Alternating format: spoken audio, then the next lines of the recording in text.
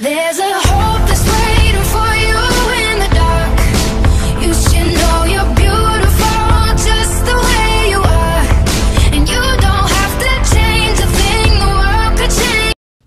Hey beauties, beautiful Jay here. Today I'm coming to you guys with a mini twist tutorial. I did a mini twist tutorial a while back, but I wanted to go ahead and do an updated mini twist tutorial and show you guys the current products that I'm using to really make sure that my hair is super moisturized and when I take these twists out, my hair is going to be super defined.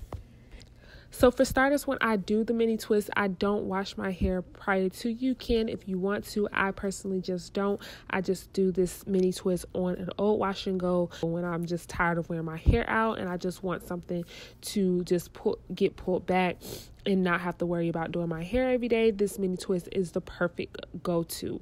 If you are lazy like me and don't mind wearing twists out in public, really feel like this is a very good low manipulation hairstyle to make sure that you aren't causing any breakage to your hair.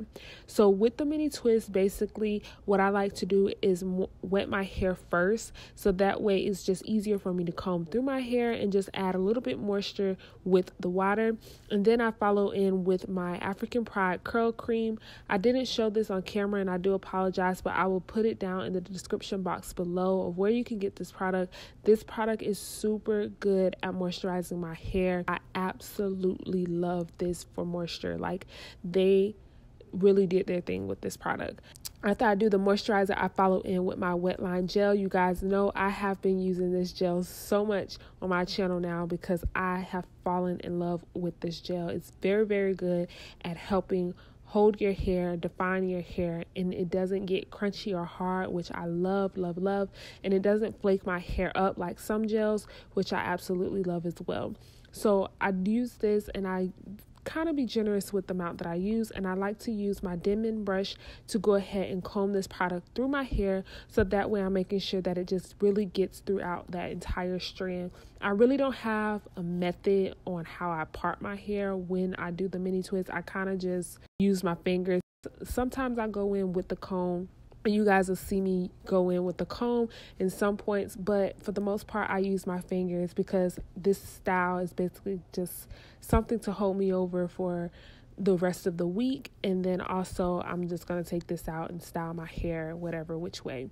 But if you want your hair to lay a certain way when you take the twist out i do recommend you parting it in the direction that you would like it because when you do a twist or braid out however you twist your hair is going to basically be where those parts are going to be when you take it out. So that's one of the main reasons why I don't like using a comb and parting it because I just don't want any like harsh lines when I take the twist out.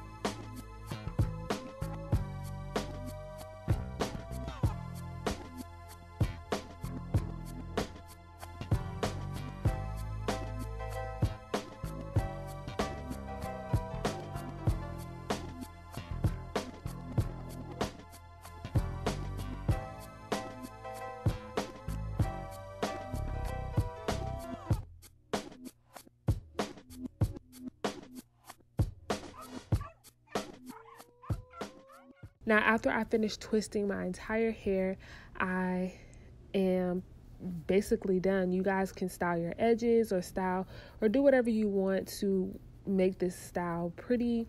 For the most part, I really just wear it like this. It's up to you, however you want to style it. Mini twists are a very good protective style. And like I said, when you take these out, these products is going to have your hair super moisturized and super defined with a very pretty twist out. Hope you guys enjoyed this video. Don't forget to like, comment, and hit the subscribe button down below. And I will see you guys in my next video.